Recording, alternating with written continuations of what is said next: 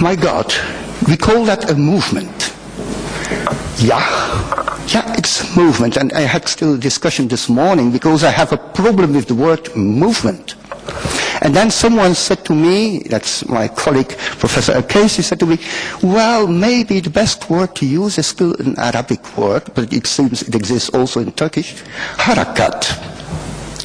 A harakat meaning there are some ideas, it's even an Aristotelian concept at the beginning, there are some ideas that put things in movement, that make that things start to move, and these things, once they move, they are really moving and they move, or they put other things in movement.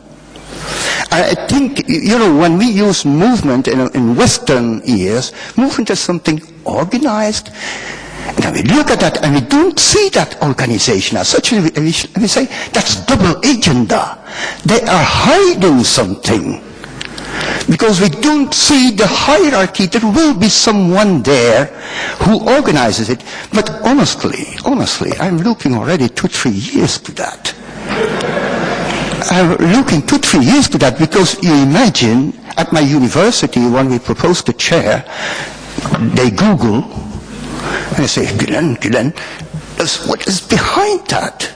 And I say, listen, as an anthropologist, I'm re really running in the field to discover, and I don't see, I think there is something related a bit at Islamic tradition in it, but very modern.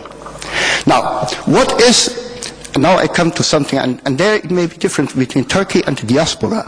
Why do I think that second generation intellectuals are so attracted by this concept? I think because it is Islam related at modernity.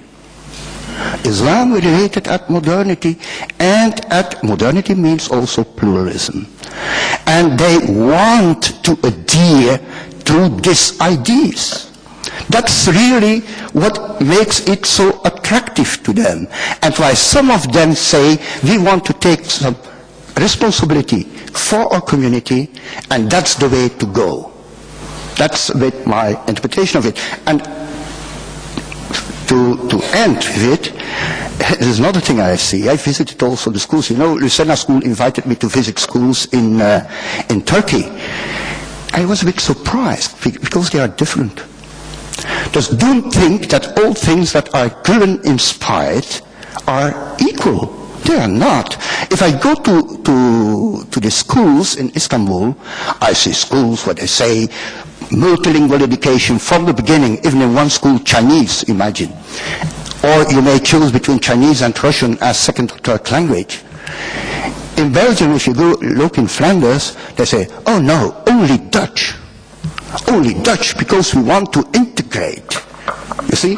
And even no Turkish. So there is not something, there is not such a thing as, I think, a movement as a very well structured organization. I really do think, and I think that we have to go back to old Aristotle and to a certain Islamic tradition to understand what the concept of movement really means. Thank you.